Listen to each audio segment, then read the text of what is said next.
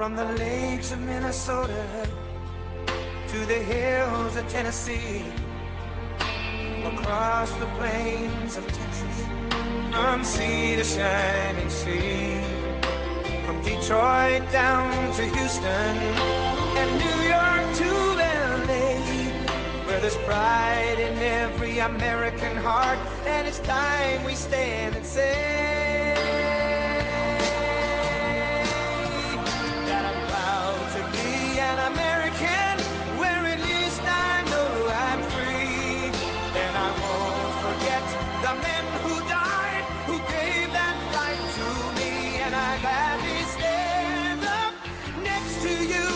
defend her still today. Cause there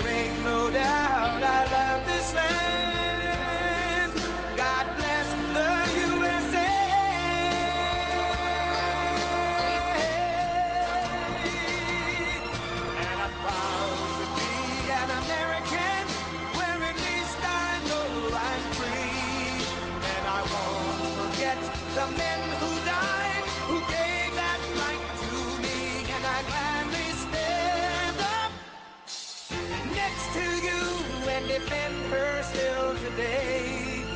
Cause there ain't no doubt I love this land. God bless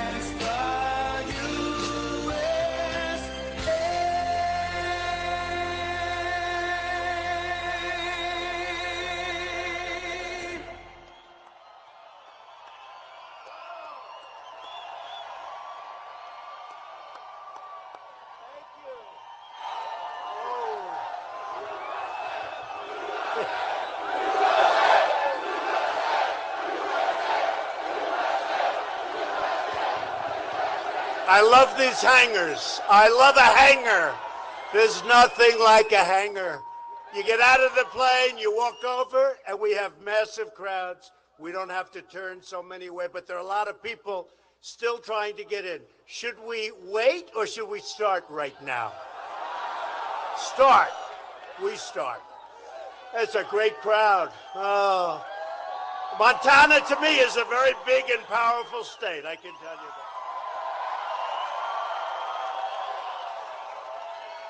At least it will be after Matt Rosendale becomes your senator. He's great. But I'm thrilled to be here in Montana with thousands of loyal, hardworking, incredible American patriots. Hard to believe I'm saying this because it was an incredible time less than two years ago, but almost two years ago, right? That was some day, that was some evening, that was some period. That was a movement like we've never, ever seen before. And here we are again. It's going to be like, doesn't seem long, but it flies. You know, when you're having a good time and when you're doing a good job, time flies, right? Time flies. And in just 19 days, the people of this incredible state are going to send Matt Rosendale to the U.S. Senate to protect your job and protect your Second Amendment, which is under siege. This, I would think, is a very big Second Amendment place. I wouldn't want to be the one that walks into your house and says, Give me that gun. Right? Nobody has the courage to do that. But Matt is going to protect your Second Amendment and he's going to defend your borders. And we're doing a good job in those borders with the worst laws you've ever seen. And we are making America great again together. Really are. This is truly an incredible time for our country. The unemployment rate just fell to the lowest level in over 50 years. Think of that. More Americans are now working than ever before. Here in Montana, household incomes have reached an all time high. Think of that. Think of that. And we watch Montana. We watch your miners, we watch your loggers, your ranchers, your farmers. We watch Montana. And you know, two years ago, you watched over me because we won this state by a lot.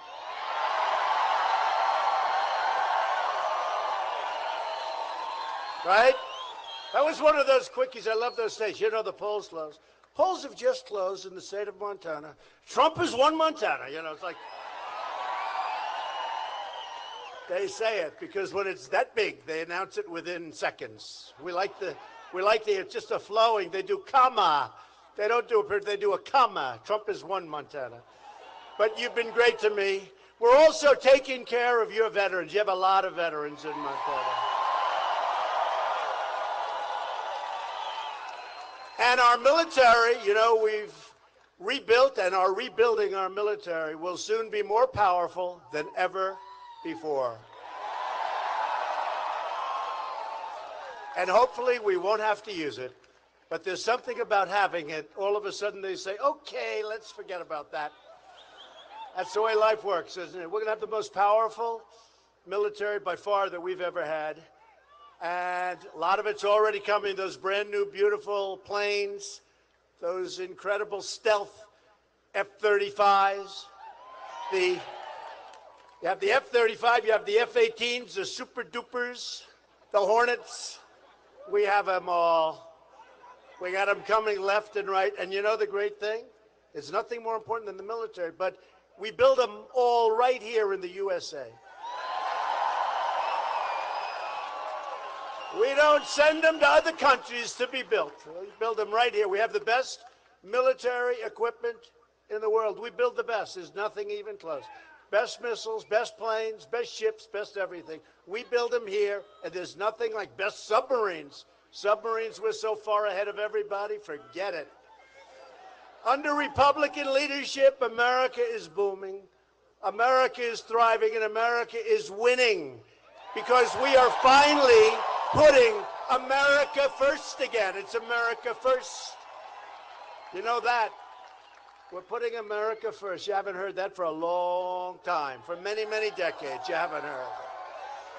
Just last week, we achieved another historic victory for the American people in a beautiful ceremony at the White House. We proudly swore in the newest member of the United States Supreme Court, Justice Brett Kavanaugh.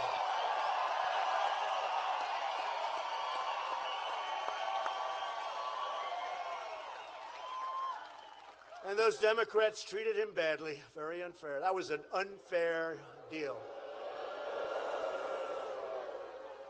From the second the Supreme Court vacancy opened, Democrats were on a heartless campaign of political and personal destruction. It was disgraceful. Before he was even chosen, before I even knew who I was going to pick, they were saying horrible things about my candidate. I said, I haven't picked anyone yet. With great people. That was terrible. What they did was terrible. And what they did to Brett Kavanaugh and his beautiful family is a national disgrace that will not be soon forgotten. Remember that. And come election day, Americans will remember Kavanaugh, and they will remember all sorts of other things because that was a shameful act. And there are many other shameful acts, including what they're doing to our border by saying, we're not going to give you the laws that you need to protect our country. But we're taking it and we're doing it, and we have great things happening. This will be an election of Kavanaugh, the caravan law and order, and common sense. That's what it's going to be. It's going to be an election of those things law and order, Kavanaugh. Remember common sense. And remember, it's going to be an election of the caravan. You know what I'm talking about. You know what I'm talking about. And now we're starting to find out, and I won't say it 100%, I'll put a little tiny question mark at the end but we're probably not going to need it. But we have the fake news back there.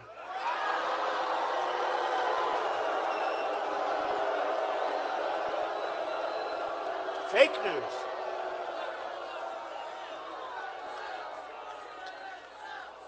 But a lot of money's been passing to people to come up and try and get to the border by election day because they think that's a negative for us. Number one, they're being stopped. And number two, regardless, that's our issue. So this is the problem with them. They have one thing, they stick together. They vote together. They're bad politicians. They have horrible policy. They hate ICE. They don't like our military. They don't like our vets. They're always fighting us on that. They have lousy policy. The one thing, they stick together. But they wanted that caravan, and there are those that say that caravan didn't just happen. It didn't just happen. A lot of reasons that caravan, 4,000 people, but uh, I just want to thank the Mexican government because they're stopping it hopefully before it ever gets to Mexico.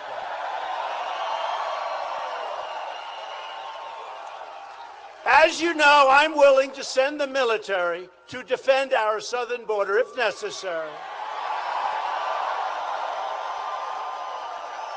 All caused because of the illegal immigration onslaught brought by the Democrats because they refuse to acknowledge or to change the laws. They like it. They also figure everybody coming in is going to vote Democrat. You know. Hey, they're not so stupid when you think about it, right? But they are crazy, and the crazy Democrats refuse to support any form of border security legislation to fix our absolutely horrible, old fashioned, loophole ridden immigration laws. We have the worst laws anywhere in the world. We have the dumbest laws anywhere in the world. Somebody comes in and we say, uh, Excuse me, a foot hits the ground. You know, if a foot hits the ground, we're not allowed to say, Hey, go back. Every other country in the world, they say, Go back. Can't come in, sorry. A foot hits the ground, we have to, by law, with these horrible people that are making their own rulings, having nothing to do with our Constitution, we have to take those people in, even if they're criminals. And we have hardened criminals coming in. You think those people are perfect? They're not perfect. You have some hardened, bad people coming in. And by law, we have to take their name and then we have to release. It's called catch and release. You ever hear this one? You catch them, you find out about them. Even if you find out bad things, you catch them and you release them. And then you say, come back for a court case. There's only a problem. There's not enough judges in the world to take care of it. And I will say, I have caused the problem. I'm taking full blame. You know why? Everyone's like in shock. It's my, hey, look, fake news. It's my problem. I caused it. Because I have created such an incredible economy. I have created so many jobs. I've made this country with you so great that everybody wants to come in. So they're all pouring in or trying to. So, with the worst laws in the world, we're doing a hell of a job. But we've made our country strong. We've made our country respected, and people want to come in. Most importantly, what we have to do, we need votes, meaning we need Republicans to vote. You know, you keep hearing we have a majority. We have a majority that if somebody has a cold, if somebody's not feeling well, we lose our majority. That's how it is. It's not a we have like almost like identical. We have to have more votes so we can put in strong, conservative, Republican, but common sense. It's not even Republican, conservative. It's common sense policies. It's common sense. That's why we have a lot of Democrats that support us, frankly. We have a lot of the Democrats that aren't crazy. They're intelligent. Because the Democrat Party has gone so far left that nobody knows what to do. It's become radical resistance. You ever see their signs? Resist. They say, What are you going to resist? I don't know. You ever see when the fake news interviews them and then they try and cut it, but they never, they'll go to a person holding a sign who gets paid by Soros or somebody, right? That's what happens. Well, did you see with with now Justice Kavanaugh? Did you see? And by the way, also with Justice Neil Gorsuch. How good is he? That's a great two people. But did you see the signs? They're brand new, they're beautiful, the black and white signs. Everybody has the same size, right from the finest printer in Washington. You think the people, those are not signs made in the basement. They're all identical. And I pointed that out, and the next day everybody had signs that looked like they were made in the basement. I didn't see any of the black and white ones. It's a whole, hey, look, there's a lot of rigged things going on in this country. You know about that. There are a lot of rigged things going on in that. Just ask Bernie Sanders. You think things are rigged, Bernie? You think things are rigged, Bernie? You could ask me, too. I could tell you about rigging. I tell you what. But we fight like nobody ever fought before. You know we do? We fight and we fight and we win and we fight harder than anybody ever fought. And then they say, oh, it's obstruction. It's obstruction. If you fight back today, it's called obstruction. No, no, no. We fight back. Call it whatever the hell you want. We fight back. Obstruction. You know, I just walked in and a big, strong guy grabbed me and he was almost crying. And it happens every time and many times. And he said, Sir, Mr. President, thank you so much for saving our country. And, and you know, now I've, I hear it all the time. Those exact words, thank you for saving our country. And at first I had to think about it months ago. I really had to think about it. You see what we did with taxes, with forget taxes, with so many things more important than taxes. Although those big tax cuts, they did come in handy, didn't they? Everybody benefited from that. But regulation, so many things. You add it all up, and they say, "Thank you very much, Mr. President, for saving our country." Well, the truth is, we have all together because this has been a movement like we've never seen before in this country like probably almost every country, they've never seen a movement like what happened with us in 2016. And we all together, not me, I'm a spokesperson. By the way, how have I done? Have I done okay?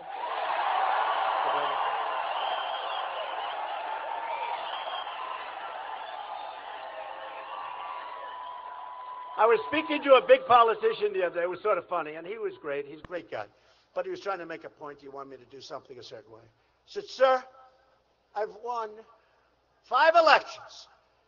I've run eight times.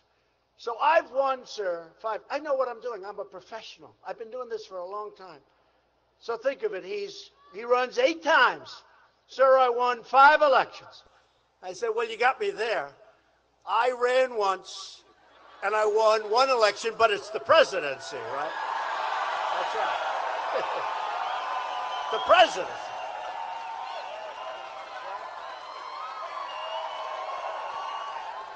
It's the presidency.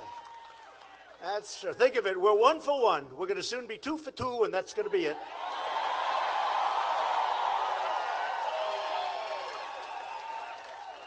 Although a lot of the fake news said that he's not going to stop at eight years, he's going longer. We'll never take it away from him. This is like the group of people. First, they say he doesn't know what he's doing. Perhaps he's incompetent. He doesn't know what he's doing. It's terrible. It's ter then two minutes later, say he's got it for eight years. He's going to take it for long. You can't have both. You can only go one way or the other. You can't do both. Now, eight years is going to be fine, right? Eight years is going to be fine. It's all the time we need. That's all the time we need to make America great again. Make America great again. Is that, is that maybe the greatest slogan in the history of runs? You remember Hillary's slogan? That was the worst slogan. She paid like a million dollars for some guy to make this slogan. And after I dissected it at one speech, they changed it the next day. Come together or some, some terrible. Come together. Oh, she's a great unifier, right? Great. She's a great unifier. Crooked Hillary is a great unifier.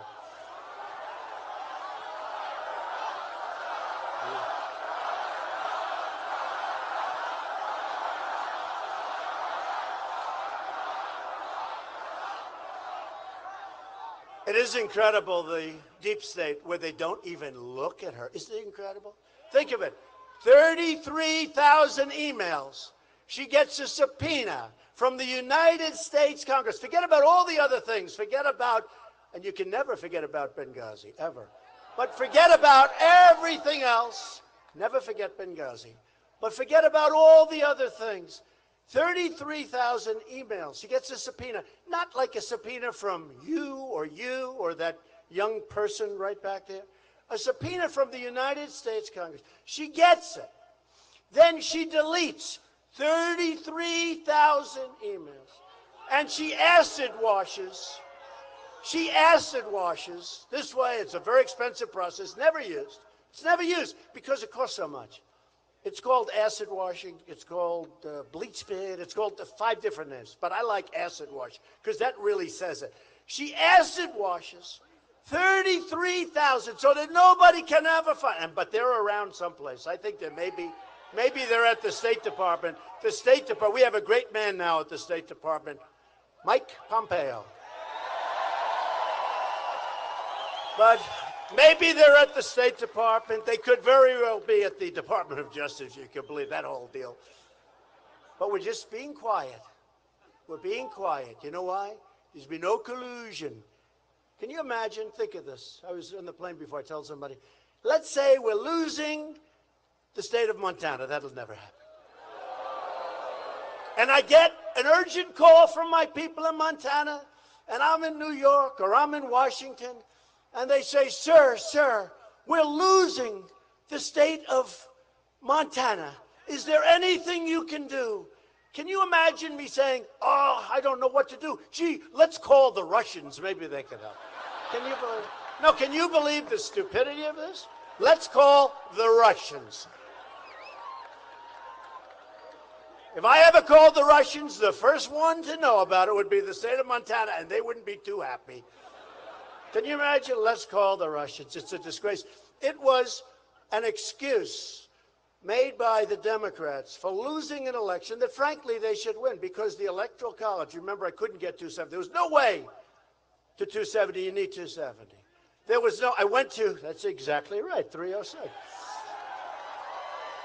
I went that's right. You heard how many times you hear, there is no way. So I went to Maine. I love Maine, by the way. One vote. Got one. One. So I went to Maine four or five times. I love the people of Maine. And I ended up winning that one, but I didn't need it because we won Michigan and Wisconsin and Pennsylvania and a lot of states. And a lot of states. No, I'll tell you what, it, it was an exciting, it was an exciting time. And next time, Democrats are going to learn where they have to run. You got to run in the right places. These were not great competitors, but they were fine. Actually, they were more effective, in my opinion, after the election than before the election. Does that make any sense? You know, that to me makes a lot of sense. Wise guys. The Democrats have turned I love you too. Who said that? Who said that? Who said that? It's finally a woman. You know, I get it from the men all the time. And so far, every guy that said, I love you, they're just not my type. I finally heard it from a woman. Thank you. Thank you. And look at all the women for Trump signs. Here we go again. It's the same thing. Everyone says, but will he get the women? There are, you know, these uh, fakers on television, the pundits, you know, real geniuses. They've really done well in predicting me. He's never going to run. He has too good a life. He's just doing it for fun. He'll never run, but he's having a good time. I said, that's a good time? So I run. Then September, one by one, we knock them off, knock them off, knock them off. Remember?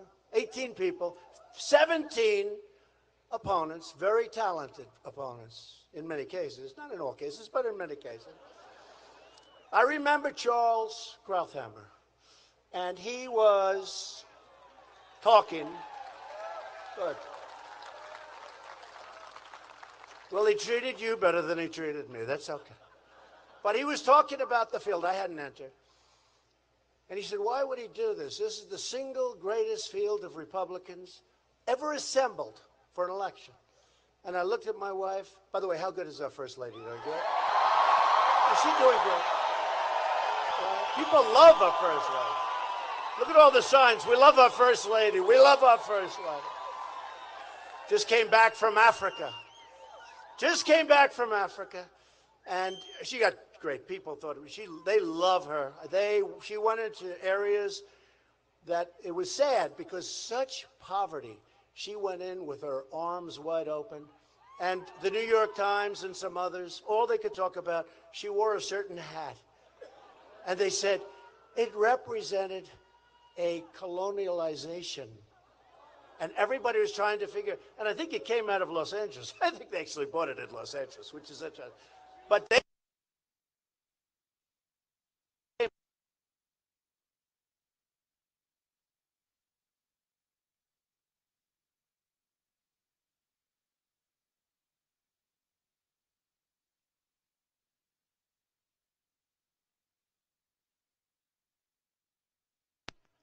and they came down quickly. Great, great people, great pilots, great, great pilots. And she was cool. She was cool. I did have to. Once I found out everything, I asked, "How was she? Was she scared?" No, sir. What was she like? She was so cool, we couldn't believe it.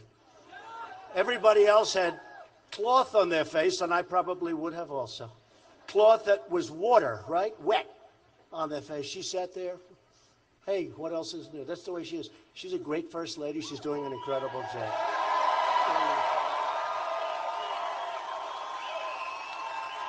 And you think it's easy for her to be a first lady. Not so easy.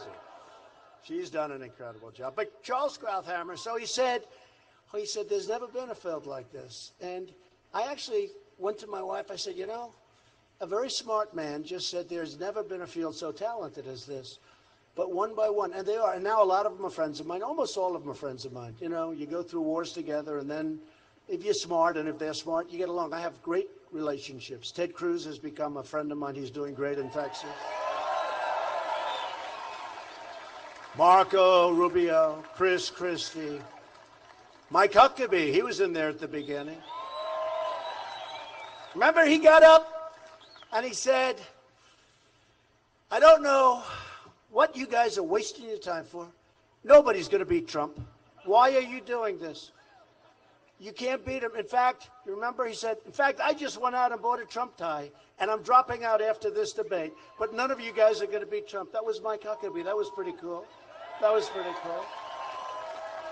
It was very good first debate because I was so impressed with what he said. I didn't think about it. Now, Mike is great. We have we had such great people. We had such great people and a lot of talented people. And the end result is this is where we are, and we're doing a lot of good. But the Democrats have truly turned into an angry mob, bent on destroying anything or anyone in their path. And your senator is one of them. Let me tell you, your senator is disgraceful what he did. This election, you will decide which party is in control of Congress. That's true. And if they win, even if they win the House, it's going to be just fighting, fighting, fighting. It's going to be, will be, you love my hair? Thank you. She knows what to say. She knows how to make me happy. I love your hair. Well, the one thing that has been really great about this whole endeavor. They used to say, he wears a hairpiece, he wears a hair. They don't say that anymore. They, these people have seen me under every condition known to man. I haven't heard that one in over a year. You know, when you're walking around and the wind is going crazy and you're inspecting like I did the other day, the incredible hurricane is horrible. Hurricane Michael that devastated Florida and Georgia. And Alabama got hit hard. And then a couple of weeks before, and Michael got a piece of them too. But a couple of weeks before, I went to North Carolina, South Carolina. You look at what happened in a little piece of Virginia, uh, and you walk around in those conditions, you can't fake it. You can't fake it. So that's one good thing. Nobody ever says that anymore. That's one of the, might be one of the best things that's happened to me in a long time. Because my whole life, they said, is it or isn't it? Barbara Walters interviewed me. Do you mind if I play with your hair? Remember that? And then numerous people have done that, but that's okay.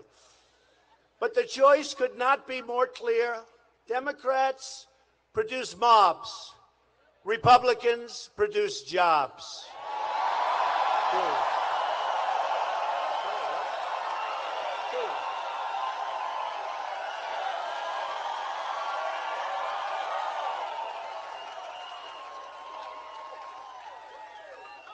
By the way, this is the most beautiful sky.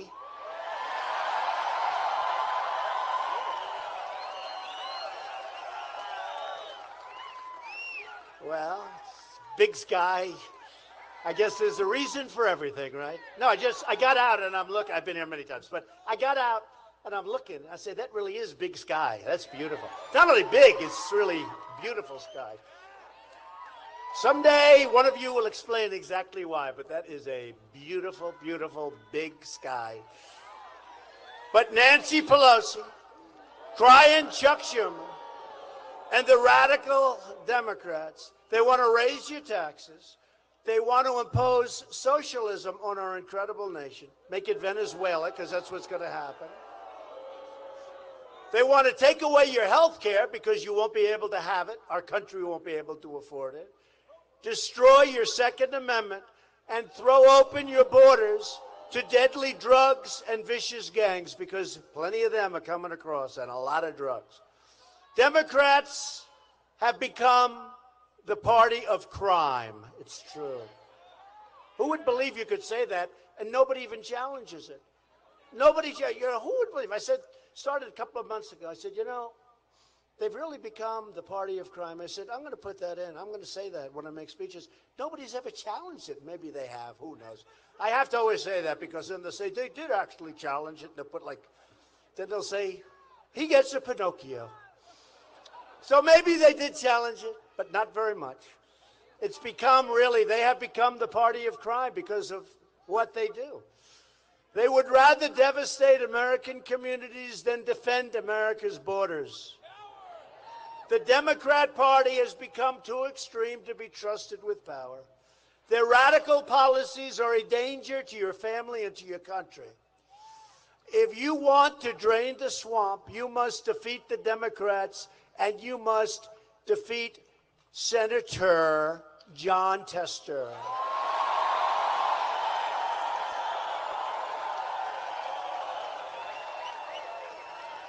I mean, he's a super liberal. How do you? I, I, know you people. I won by a fortune of votes, right? Like many, many, many votes. And I know, I know you. You know me. I know you.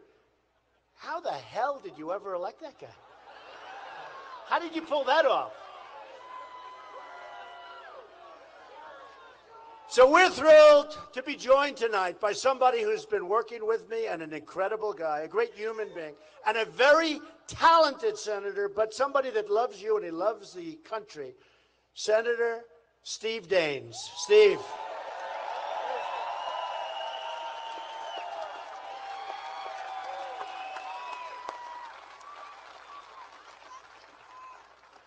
He is a great guy.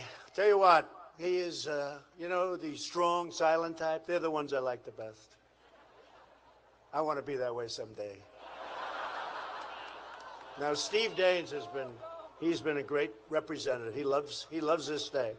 I also want you to go and vote for an incredible Montana leader, somebody that's gone to Congress and in a short period of time, one of the most respected people in Congress, Greg Gianforte. Hey, Greg, come up. Come up, Greg.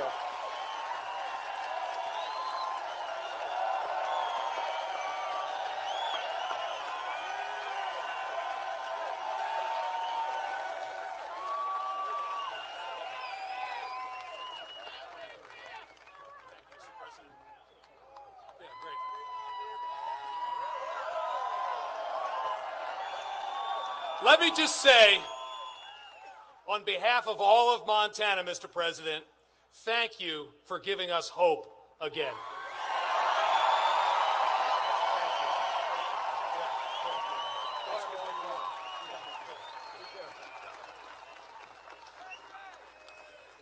He's so smart. You know, we've had people, you're on live television all over the place. And we've had people get up, speak for 20, 25 minutes. And these guys are going crazy. That's not the deal. But Greg is smart. And by the way, never wrestle him. You understand that? Never. Any guy that can do a body slam, he's my kind.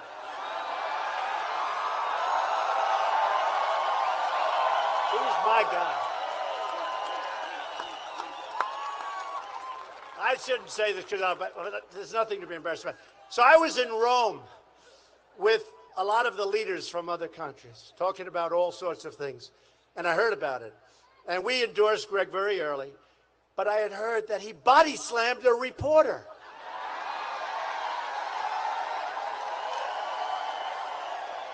And he was way up. And he was way up. And I said, Oh, this was like the day of the election or just before. And I said, Oh, this is terrible. He's going to lose the election. Then I said, Well, wait a minute. I know Montana pretty well. I think it might help him. And it did.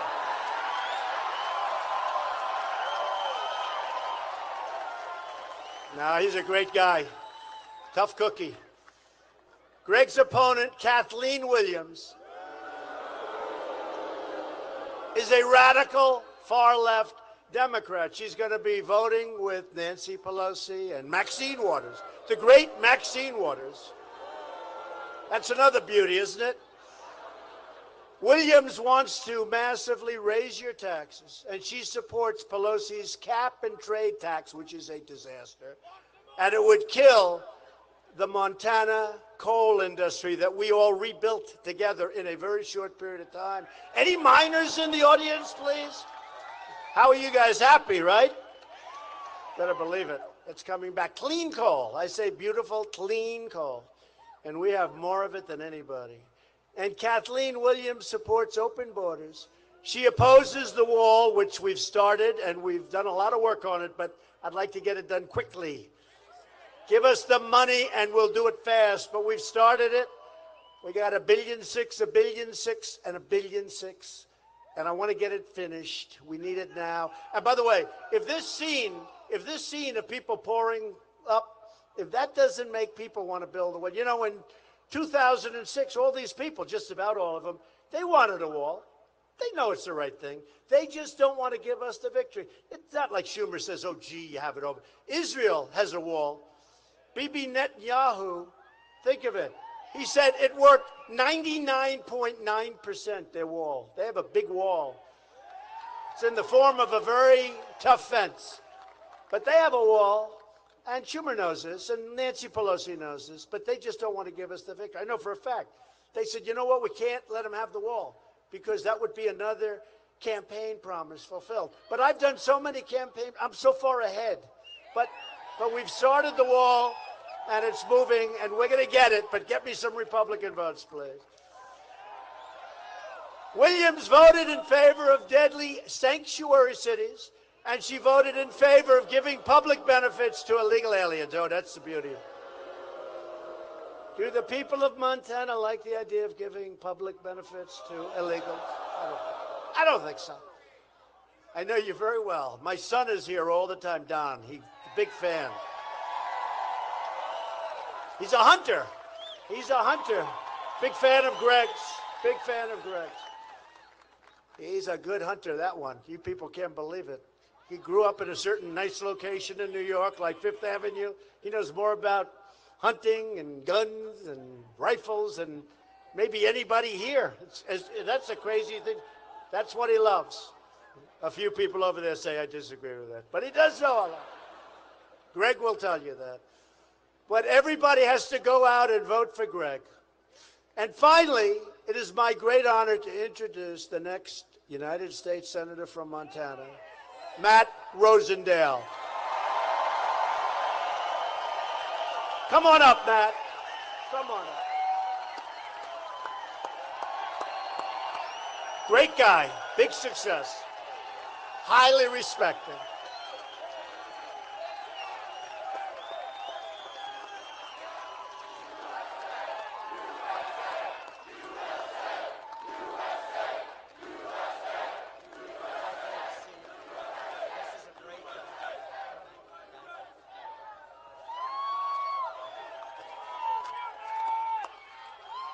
Hey, hey.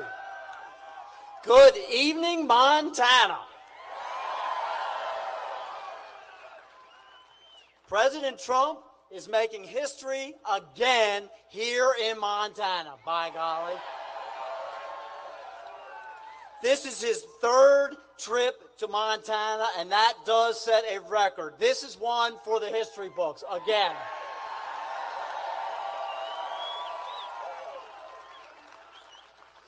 I want to take a moment to thank our veterans and all of our military for their great service to our great nation.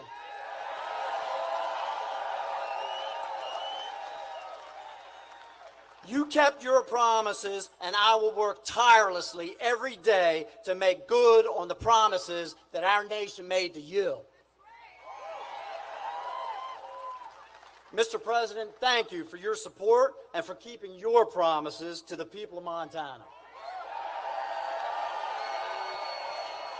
You are making America great again. And if we want to keep America great, then we need everyone here to get out and vote. President Trump and all of his policies are on the line. So let's make history and retire Jon Tester and send President Trump the help he needs.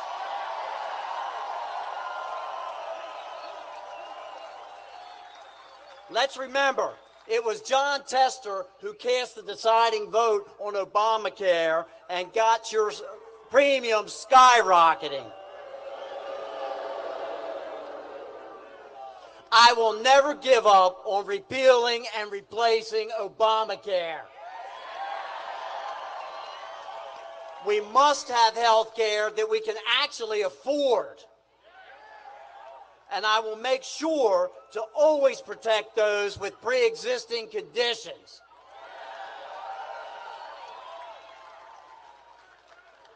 Remember, when Jon Tester talks about supporting the Second Amendment, understand that he voted for liberal judges who will take your guns away. I'm endorsed by the NRA with an A rating.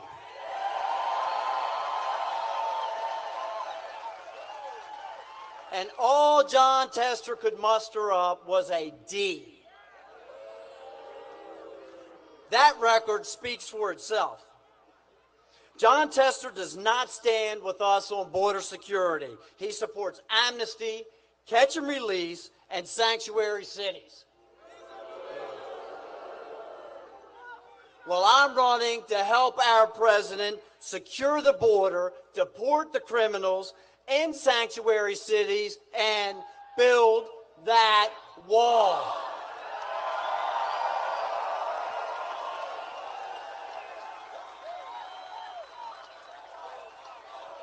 I like the wall.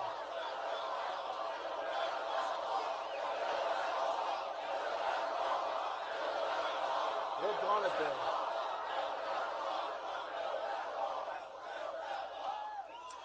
President Trump deserves a senator from Montana that will support his Supreme Court nominees, not oppose them 100% of the time like Jon Tester has done.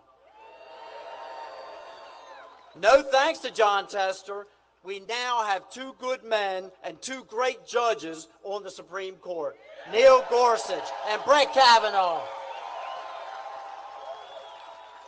Folks, Jon Tester has been too wrong for too long.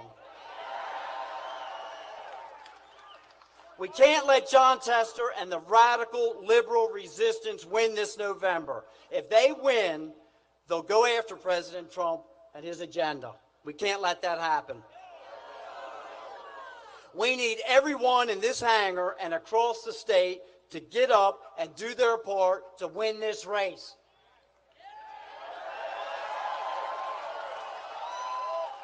Ballots have dropped. I encourage everyone to please cast your vote and to turn them in as soon as possible. Tell your friends, your family, and your neighbors to get out and vote. I pledge to always put Montana first, and I will stand in strong support of President Trump because the work that he's doing really is making America great again.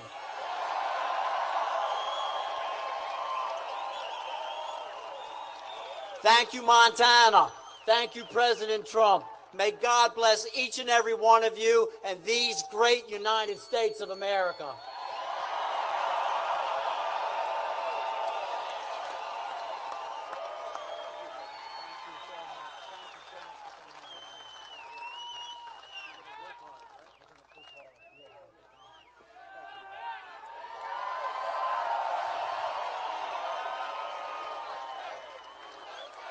Thank you.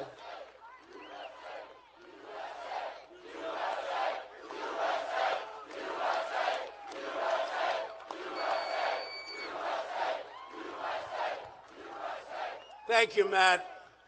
And I have to say, a vote for Tester is a vote that really is going to count. It's going to count for you. He's replacing far left with common sense, and we really have to get out. We are looking to have some success where right now it's so impossible. We have to get Schumer and Pelosi, we have to move them around, we have to get them out. Our new star, Maxine, we have to get them out. There's a lot of bad things happening. I don't know, you know, you see what they do, you see what they think, and you almost say, like, can it really be possible? Can somebody not care about our military? Can somebody not care about so many other things that we're doing, like taking care of our vets?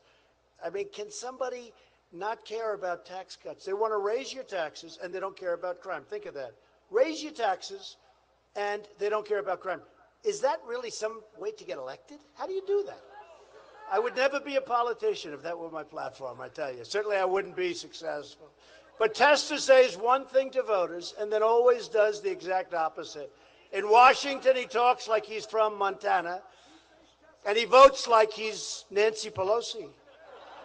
The only thing keeping Tester's campaign alive are millions and millions and millions of dollars from outside liberals and radical leftists who couldn't care less about Montana. They don't know anything about Montana. All they know is he's a vote for them.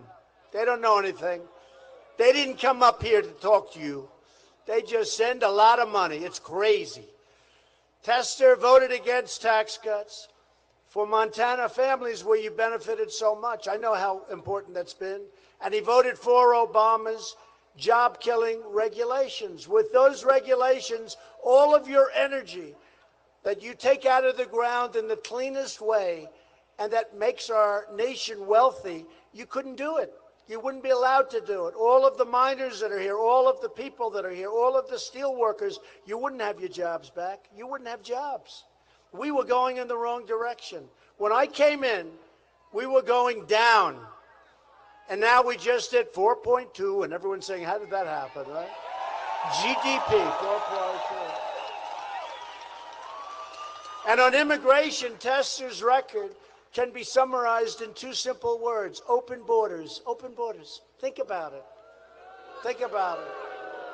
How about this guy in California? I have to say, look, I'm sure he's a nice guy nice guy, young guy.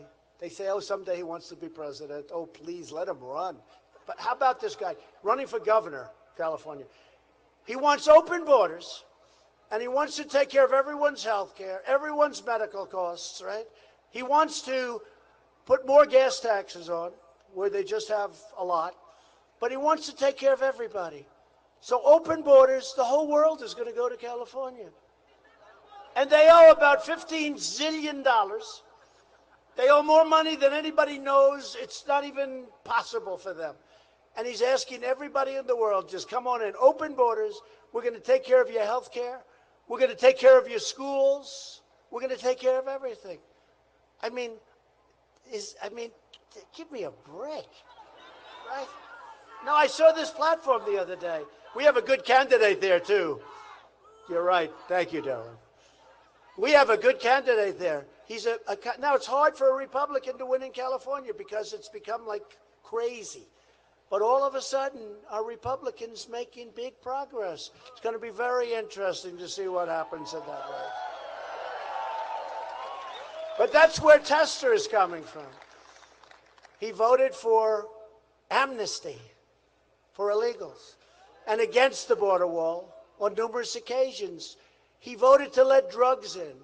He voted to let drugs in. That's what you're doing. You don't have the wall. You don't have a border. What you have is you have infiltration of drugs like you've never seen. We fight so hard. We just had a big victory with the post office so that we can see drugs coming in from China, fentanyl, and other places. Tester voted against Kate's Law, legislation to stop criminal illegal aliens from repeatedly breaking into our country. This guy came in five times, and then you know what happened. Tester voted against enhanced vetting for refugees. I said enhanced vetting, and people said, oh, what a terrible term. I don't think it's terrible. We want to have people come into our country, but they have to come in based on merit, not based on a lottery. We need people. We need people. Our employment rate's one of the lowest, as I said, over 50 years. We need people to work in the companies. Japan, I was speaking to Prime Minister Abe the other day. They're opening up new car factories and plants in Michigan, in Ohio, in Pennsylvania, in Kentucky. At my very strong urging because we have a massive trade deficit with Japan. We have a massive trade deficit with everybody. But we're changing it. We made the great deal for your farmers with Canada and with Mexico. And every other business, by the way. And we're not going to have our companies leaving the United States anymore. They're going to stay here and they're going to expand in our country. And Tester voted in favor of deadly sanctuary cities. He likes sanctuary cities. Jon Tester would rather protect criminal aliens than American citizens, which is why he needs to be voted out of office. He does. And by the way, Matt, Matt is a really successful guy, respected by everybody. I know people that knew him from 10 years ago, long before he ever thought of this, 20 years ago just was always a high end, really respected guy. And he's going to be a great senator for you. He's going to be a great senator. Matt Rosendale. And Matt said Tester has a, a D rating from the NRA. I didn't know they gave ratings that low. How can you have, okay, ready? We're in Montana. How can you have a D rating from the NRA and get votes? No, no, seriously. Did anyone know he had a D rating? I saw that. I said, well, that should be the end of that election. You know, there are some places you could have a D rating, I guess. But he has a D rating in Montana? I don't think that's going to last long. And he voted for liberal Obama judges who want to take away your Second Amendment. They do want to take it away, just in case you haven't figured that one out. That's a tough one. And one of the things that will be happening, you know, you're happy that we have two great Supreme Court justices that we just put on. You know, presidents go a long time, they never have a judge. I've had two, and it's not even two years. Think of that. Don't think of that. But under scenarios, we could have two more, three more, maybe four more. I wish everybody great health. I do. I really do. But, you know, we could have a scenario where we have more. That's why you have to be careful because you think the two is good. That can get overridden very quickly. You think you're looking good, but, and you are. But frankly, it can be overridden very quickly. Jon Tester joined the shameful Democrat mob, and we're calling it a mob now. A lot of people are calling These people are starting to think of it as a mob. And voted against Kavanaugh, voted against I guess. I didn't even know. Did he vote against Justice Gorsuch? He did. How do you vote against him? Right? Top student at Harvard, top student at Columbia, top student at Oxford. Oxford. And they vote against him? How do you do that? And he's just like led an impeccable life. Justice Kavanaugh, number one in his class at Yale.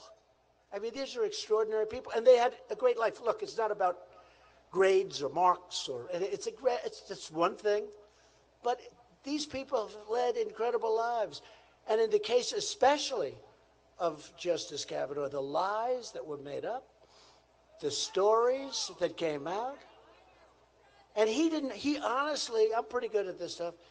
He honestly never heard of this stuff. He never heard of it. It was a big con job. You've heard me say that. It was a con job. See, with me, they're doing con jobs too, but at least I'm sort of, this been, my whole life, I've been people, I expect like things like this. They're giving a big, yeah, witch hunt. They're doing a big con job, but on him, I don't think he was expecting that. When I said, when I shook his hand, I have to tell you, I've never told this. I shook his hand, and I said, Brett, congratulations. I've chosen you, and I have a list of 23 people or so that are phenomenal. Top students, top everything, top judges, all judges, I think, all judges. Doesn't have to be a judge, by the way, but there's something nice about putting judges on the Supreme Court, right? I don't know. Somehow, I think putting a businessman would be nice, or a woman. Uh, how about a businesswoman? But, but something nice about you. Doesn't have to be a judge, would you believe it? But I shook his hand. I'll never forget it. I shook his hand, and I said, Brett, you're like so good educationally.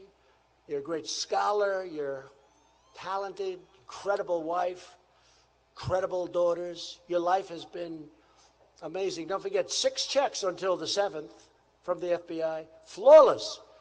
I said, Brett, congratulations. This is going to be a piece of cake. I meant it. I said, this is going to go so fast. It's going to be so easy. You are perfect. You are something special. And he suffered. He suffered needlessly by vicious people like Feinstein, like, remember? Do you think she leaked? She leaked. She leaked. Remember that? No, I, I didn't leak. Remember? Remember? Senator John Cornyn, great guy from Texas, he asked a question Did you leak? She was startled because she was unprepared. No, I, I no. Uh, did I? Uh, what? Did I leak? No. No, we didn't lick. No. No, oh, no, we didn't lick. That was the worst body language I think I've ever seen. Remember? Remember Jon Lovitz, the liar. Remember Jon Lovitz? Yeah, yeah. I'm a businessman. Uh, that's right. I, I went to. Yeah, yeah. I went to Harvard. Yeah, that's right. I went to Harvard. I'm a businessman. That was like a female version of Jon Lovitz. And then you had Spartacus, right? That's not Spartacus. I know him for a long time. You know, I don't want to speak badly about him, though, because, you know, I want most of these people, I think all of them, to get through the process. They're all fighting to run against us. And I don't want to hit them so hard that they don't make it. Because maybe they'll find somebody of talent. So far, there's nobody on the list. So I don't want to kill him. I don't want to do it. It's too early to be doing it. But he didn't do well at Newark, New Jersey. He ran it right the hell into the ground. And that's what he'd do with our country. So you have a lot of them. I'll go over a couple of more names, but no, I won't. How about how about Sleepy Joe Biden? Sleepy Joe. Remember, he challenged me to a fight, and that was fine. And when I said he wouldn't last long, he'd be down faster than Greg would take him down. He'd be down so fast. Remember?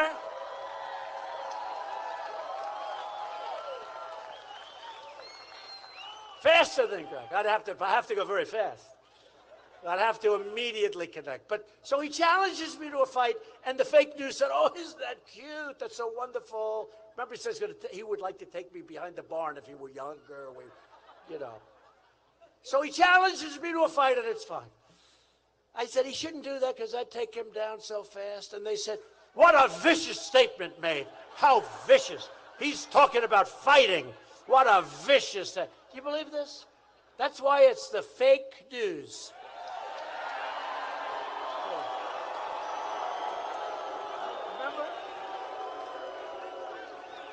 Responded so nicely, and they, they made a big deal out of it, but that's okay.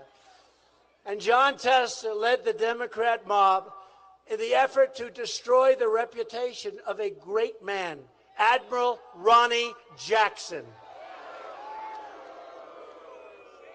Now, Admiral Jackson, I got to know well. He's a doctor in addition to being an admiral. He's a handsome, wonderful father. His son had just graduated, high in his class at Annapolis, credible young man, beautiful family, incredible wife. And Tester said things about him which were a disgrace. And I say the people of Montana would not stand for it. What he said about Ronny Jackson, he was the doctor for President Bush, for President Obama, and for President Trump. And he was high quality. And it's my fault. I said, Admiral, how would you like to head up the VA? I want somebody great. You're an admiral, you're a leader. And he's 50 years old. He never had a problem in his whole life. A little bit like Justice Kavanaugh. You know, really a very fine, high quality, handsome guy. Never had a problem. And he said, Sir, I had never thought of it, but I'll do whatever your wish is, sir. He didn't really want it. He didn't really want it. And he might not have been qualified, but here's a doctor at a high level, and he's a man that everybody respected. I saw that. And respect is so important. And I know he'd do a good job and he'd put his heart into it. He's very smart. But he said, Sir, if you'd want me to do it, he really didn't. He was all set, 50 years old. He was going to get a second star. He was going to retire and go into running a big hospital system or something. He was all set. But he didn't want to disappoint me. So he said, Sir, if you'd like me to do it, I will do it. I said, Well, I'll tell you what, Ronny, you'll be fantastic. He would have done a great job. And I announced that he was going to be my choice. And he was attacked so viciously, so violently by Jon Tester like I've never seen before. True. All lies, all made up stuff. Remember knocking at somebody's door at 2 o'clock in the morning. Remember that? Knocking. And I checked with Secret Service. Did that happen? No, sir, it didn't. They checked it. Sir, that didn't happen. They came in. I want to know. Sir, it didn't happen. Didn't even come close to happening. I think he wasn't even there. They made up a series of lies that were horrible. And Jon Tester led the group. That's really why I'm here. It's not that we need the vote so badly. I think we're going to do very nicely in the Senate, I hope. I think we should pick up seats. But I have, first of all, I have a lot of respect for the man that's running, Matt. But, but also, also I'm here because I can never forget what Jon Tester did to a man that's of the highest quality. You would have loved this man in this state. He'd be one of you. He'd be one of you. And so I said, I got to come. I got to come here. I got to help because what he did was unfair. What he did, what he did was vicious. What he did was as they did with Judge Kavanaugh. Same thing. Same thing. Almost, almost, if this is believable, worse. And he sat and he didn't know what hit him. He didn't know what hit him. To which I originally said, Welcome to the world of Washington, D.C. Isn't this a lovely place? But this was a, an innocent, wonderful man who's led a life that's incredible, and he was so badly hurt. And so I had to come here and tell you that story. What happened, and we've had it checked out so carefully, and the Secret Service guys are fantastic, and I wanted a full report. I wanted a full report. Dr. Ronny Jackson, special man. Tester doesn't share your values. He shares the values of the Feinsteins and the Cory Bookers, and how about Pocahontas, Elizabeth Warren?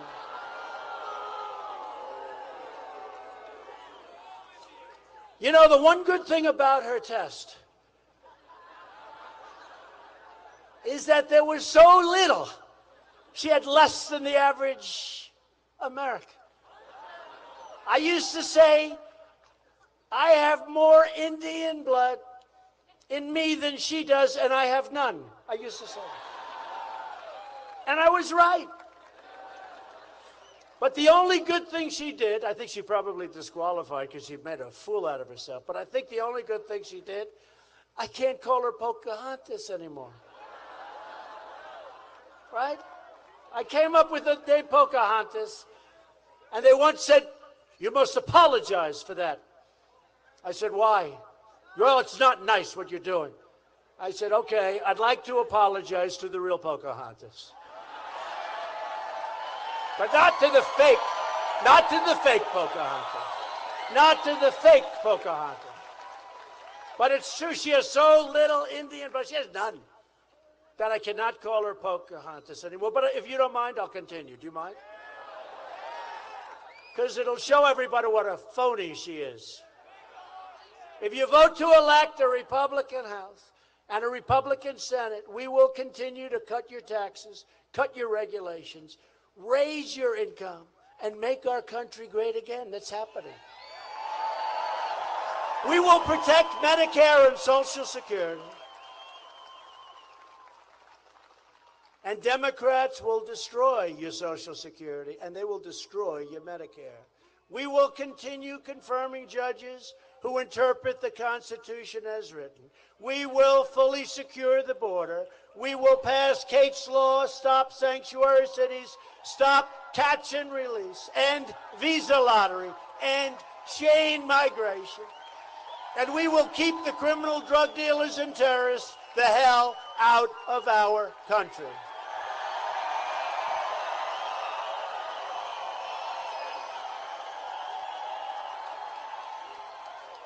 We will lift millions of our citizens from welfare to work, dependence to independence, and from poverty to prosperity. For years, you watched as your leaders apologized for America. They apologized. Now you have a president who is standing up and proud, but standing up for America.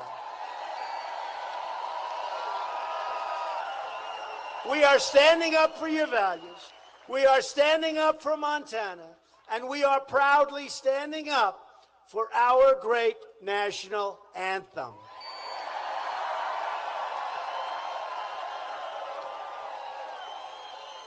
But to continue this incredible momentum, I need you to get your friends, get your family, get your neighbors, get your coworkers, and get out and vote for Greg Gianforte and Matt Rosendale. These are great people. A vote for a Republican Congress is a vote for more jobs, more wealth, and more products made right here, like the old days in the USA. It is a vote to respect our laws and to respect the heroes of law enforcement. They do a great job. And a vote for Republicans is a vote to reject the Democrat politics of hatred and anger and division and to celebrate the greatness and the glory of being American. Loyal citizens like you help build this country and together we are taking back our country, returning power to you, the American people. And that's what's happening. That's what happened almost two years ago. This great state was settled by tough pioneer men and even tougher pioneer women. By the way, they keep saying, will he do well with women? Remember last time they said the same thing. We did, we did very well with women. I think I probably won because of women. I hate to tell you, men. Remember, now they're starting the same thing. It's like a replay. Will he do well? Women, by the way, what do they want? They want security, both real security and economic security. They don't want to have criminals all over the place. They want to be able to have a great family and raise a great family. They want great education for their family and their kids. I'm the one that gives you that. They don't, they don't give it to you on the other side, folks. And we're giving you already better choices for health care. I got rid of the individual mandate, which is the worst thing in Obamacare. And we're running the remnants of Obamacare before it expires completely. And you notice your premiums are going up less than they've ever gone up? because we're doing a real job. We had the votes to repeal and replace, and somebody disappointed us a little bit. But we'll get another shot. I'll tell you what, as Matt said, it will happen. Get us a couple of votes. But these are pioneer women who braved the wilderness and defied the dangers to build a life and a home and a family. These are great women. The men are okay too. Not great, but they're okay. The men are okay. What the? The women are exceptional. They didn't have a lot of money, they didn't have a lot of luxury, but they all had one thing in common. They loved their families, they loved their country, and they loved their God.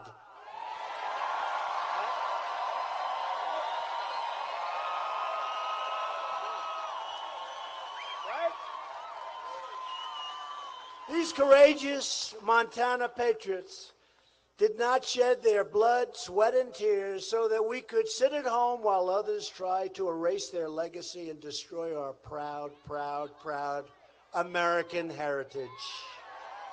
Didn't do it. For the sake of our freedom and for the sake of our children, we are going to work, we are going to fight, and we are going to win, win, win. Remember, I told you that. Telling you that for a long time. We're winning again. Our country is respected again. I can tell you, I meet the leaders of other countries. They say, Mr. President, congratulations. You know that we have the hottest economy, as big as we are. We were going down. We have the hottest economy on earth. People are moving back in. We're winning again. We're respected again. We will not bend. We will not break. We will never give in. We will never give up. We will never back down. We will never surrender. And we will always fight on to victory.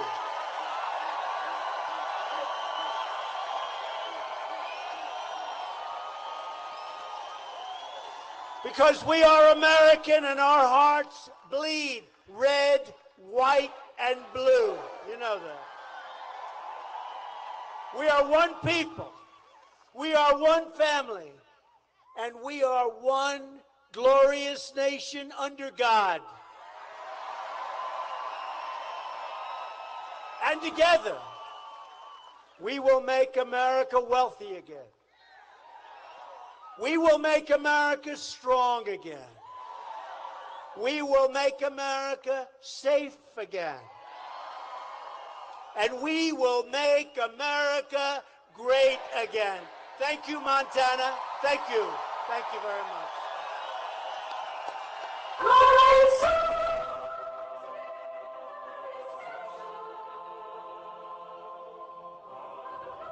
And there you go, President Trump just wrapping up his speech, speaking to thousands at the Minuteman Aviation Center near the Missoula International Airport. The president called it a great crowd and thanked the state for their support in his presidential election.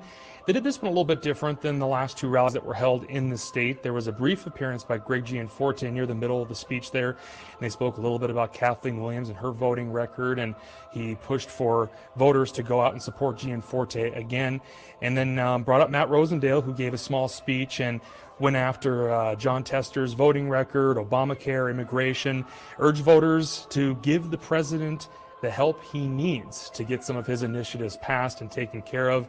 And they also went after Tester's rating from the NRA. He claims that Tester gets a D while he gets an A, and that got quite a stir from the crowd um, supporting gun rights. Uh, immigration also dominated most of the speech.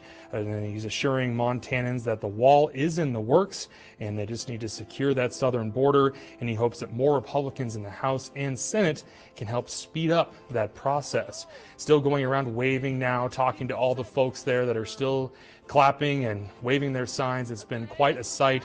And, even mentioned the beautiful sunset that we had right behind him there. It was really a good moment to show off Big Sky Country for the president and for all these folks that have been uh, just dominating this area of town all day with traffic and all that other stuff that's been going on throughout the day.